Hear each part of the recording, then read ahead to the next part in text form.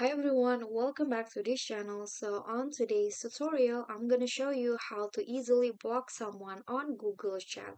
So maybe if you find that someone's been bothering you on Google Chat and you want to block uh, them on Google Chat, I'm gonna show you how. So first you need to open your Gmail and then please make sure that the chat tabs is this is there on the left panel of your Gmail and then click on a chat and then after that here you'll find the uh, person that you frequently uh, chat on google chat. And then here if you want to block someone for example i want to block this person just click on the three dots icon beside the name of the account and here you'll find there's an option to block and report. Just click on that options. And here when you block and report someone they won't be able to message you directly and their messages in the space will be hidden for you.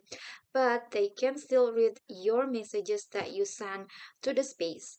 And then if you want to report this account to google you just need to click on to check this uh, box like this and then you need to click on block and after that google will block and report uh, your report will be delivered to google. Okay guys so that's all for me. I hope this video will be helpful to you. Thank you guys so much for watching. If you enjoyed the video please give me a like and smash that subscribe button down there. And also don't forget to leave a comment.